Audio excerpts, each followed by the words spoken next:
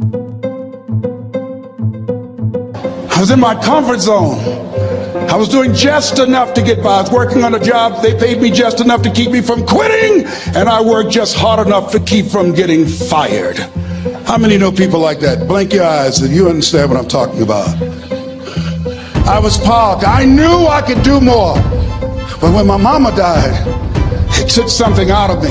When I went through a divorce, it took something out of me. When when my best friend died, it took something out of me. I paused. And somebody said that life is like an onion. You have to peel it one layer at a time. And sometimes you cry. Life's going to happen to you when you have a dream. You're going to get slapped around. And don't take it personal. Don't ask, why did this have to happen to me? Why not you? Who would you suggest? You want to give us some names, some email addresses? And don't tell everybody. 80% don't care, and 20% glad it's you. It's called life. Suck it up and move on. Get over it.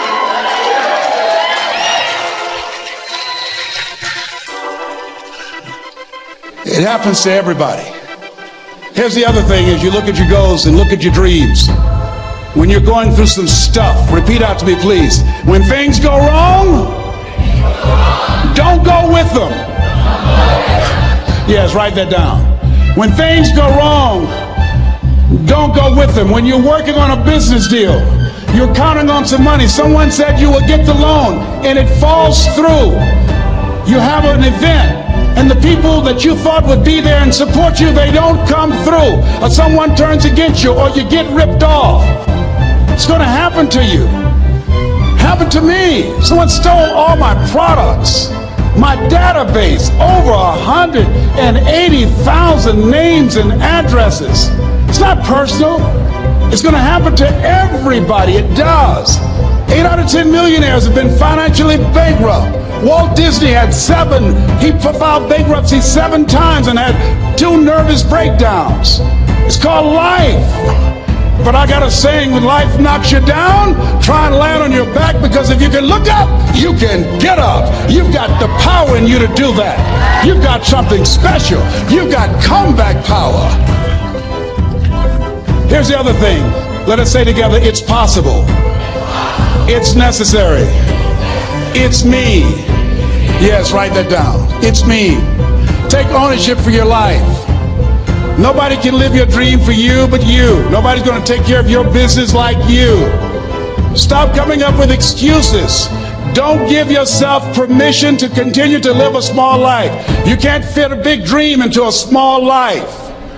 Give yourself permission to go for it, to test yourself, to challenge yourself, to live full.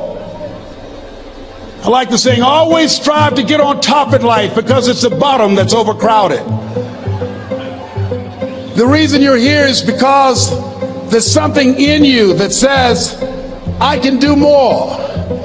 This just can't be it. There's something in you, there's a calling on your life.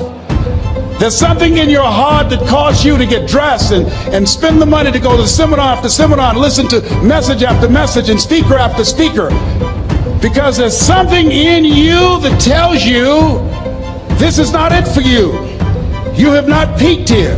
There's more in you that you are expressing. Eye has not seen, ear has not heard, nor has entered the man, heart of mankind what's in store for you if you challenge yourself, if you persist and persevere, if you take ownership for your life.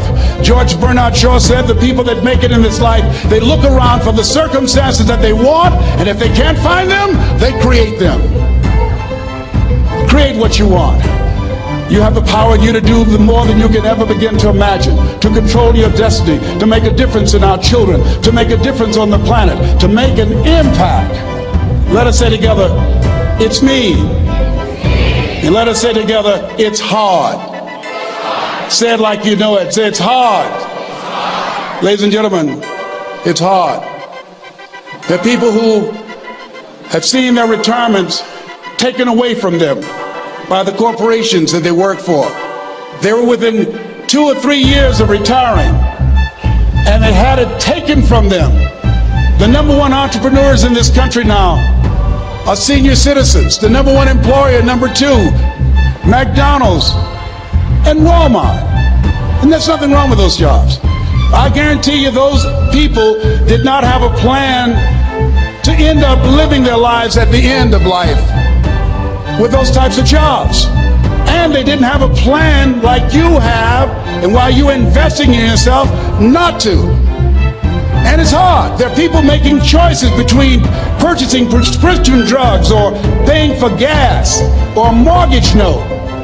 It's hard when you're working on a job for 20 years, 30 years, give them some good years, and then they come in and tell you, we've downsized. In other ways, other words, you're fired. And then you have to start all over again. How many of you know it's hard? Raise your hands, please. It's hard. And it's not fair. One of the things I like about T. Harv is he talks about work and investing in yourself. It's not fair when people are going up against that kind of stuff to tell them just think positive and be enthusiastic and everything will work out all right. Ain't that kind of party. It's hard. Life will put some knots on your head. I bought my first home for my mother. I was rushing, didn't know what I was doing, and I bought a home that had a lien against it. And they called me, Mr. Brown, yes, there's a lien against your property. We need $55,000 if you're going to stay there. Wait a minute, sir. I just bought this home. The guy told me there were no liens against it. I'm not the one that owe you the money. You should have checked that out, Mr. Brown. Come on. I called my attorney. We followed up. Yes, Les, there's a lien against the property. But he told me there were no liens. He lied, obviously. Oh my God. He told me he wanted to help me because he admired the fact that I was buying this home for my mother and that he was adopted and he, he identified with me. Les, he suckered you. He played you, man. So what, well, would they take payment arrangements? Can I, what about $5,000 a month? They want all the money, Les. They want all the money or you're going to have to get out. Of the house is going up for sheriff sale.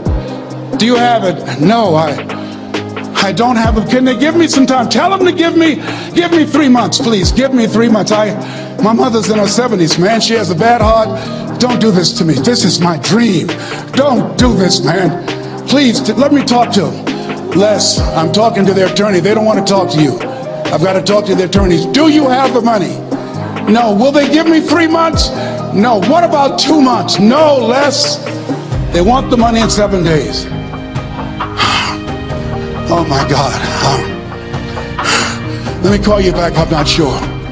And I walked the floors thinking, God, how could this happen to me? I got to figure this out. Huh? I got to figure this out. It seemed like the days were just ticking off, ticking off. Thursday, I had to call them and let them know. They called me, Les, do you have the money? No, I don't. Friday, you have to leave. The sheriff will be there. You'll have to leave, Les.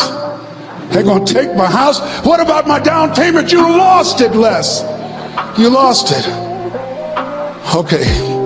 I got to go. Yes. I prayed, Lord, please. If you show me that you're real, if if it's if you're really real, you think Paul worked for you. You you haven't seen anything. Don't let me lose this house and watch what I'll do for you. I was trying to cut a deal.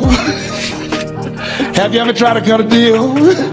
It's amazing how spiritual you get when you get in trouble. You know what I mean? When I was diagnosed with prostate cancer, I was going to bed with the with the Bible and the Holy Quran and the Science of Mind and Joel Goldsmith, everything I could find. I was paying to Jesus, Yahweh, Melchizedek, everybody. I was calling on everybody.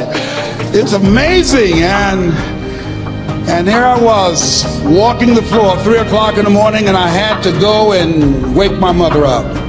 I got on my knees and I said, Mama, I said, I need you to wake up. She said, What's wrong, Leslie? I can, I can hear you walking back and forth. I'm not asleep, son. I said, There's something I need to tell you. She said, Your eyes are red. Why your eyes red? Because I feel so stupid now. Why? We got to move tomorrow. Why, Leslie? There's a lien against the property and they want $55,000 and I don't have it. And we're going to be set out tomorrow. We have to go back to Liberty City. So she said, It's okay. I don't like this house anyhow. I said, Why? She said, Because of my arthritic knees, it hurts, it hurts my knees when I go up the steps. I said, Then why didn't you tell me? Because you were so happy. I just said it because you were happy. I'll live in a shack with you, boy. I love you. It's not the house. I love you. I love all my children. I said, Thank you, Mama. Thank you. And the next day, the next day when we were in the truck going back to Liberty City and we pulled down 68th Terrace, the neighbors came out and said, Wow, Mamie, Mamie, y'all coming back? Are you back? Yes. What happened to the home your boy bought for you? Those boys you adopted. Leslie didn't do a title search. He made a mistake. And boy, I was I was so humiliated. How many ever made a mistake that you were just humiliated? Raise your hands. I was devastated. I was taking the furniture off the truck, and my mother came and I was crying. And she said, Boy, I said, Yes, ma'am. She said, Hold your head up. I said, Mama, I can't. She said, Hold your head up. I said, Why? Look what I've done. She said, It's okay.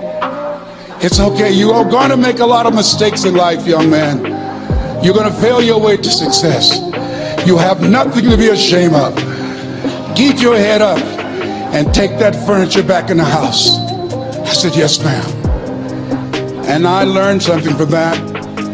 If you ever go through something, hold your head up. If you ever make a mistake, hold your head up. If you ever do something and everything goes wrong, life catch you on the blind side, hold your head up. It's not over. Goethe said,